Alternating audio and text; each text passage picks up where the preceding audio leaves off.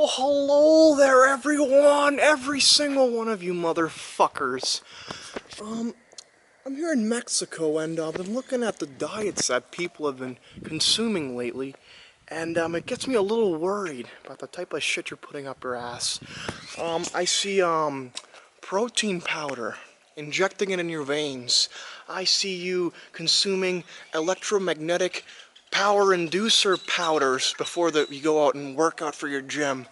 Um, whole bunch of shit, steroids.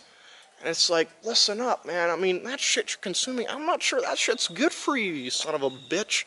Why don't you check out a little bit of the, little bit of the things that I'm uh, buying here. I don't know if you've ever heard of them. They're called fruits and vegetables, you stupid asshole. Look at that. We got celery. We got, we got, um, we got cilantro, we got some ginger, we got some pineapple, we got some melon, we got some mangoes, we got some um, carrots, we got some, we, we got apples, we got oranges, we got everything you need for your fucking diet. So I'm just gonna make a little bit of suggestion.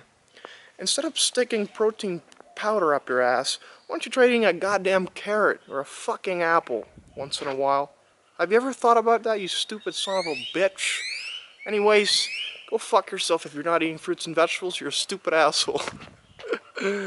Woo! Woo! Woo! Woo! Woo!